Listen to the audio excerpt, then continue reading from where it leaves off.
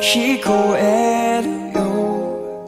僕の名を呼ぶその声が月明かりの中いつかのメッセージ届いているよ。また会えるよね。なんて君が言うから。思う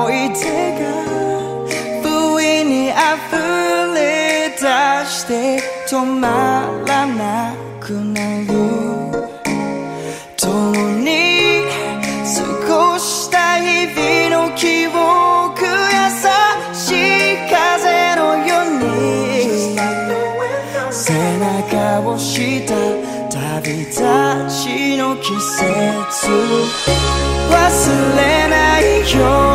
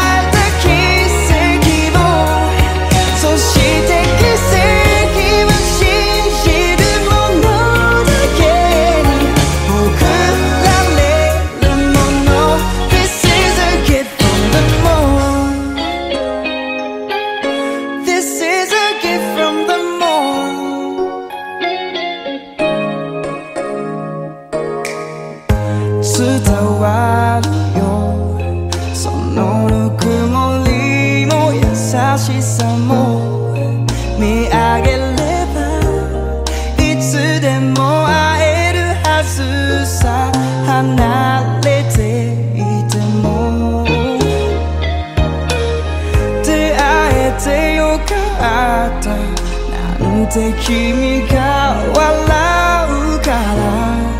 寂しさがこぼれ落ちそうになって。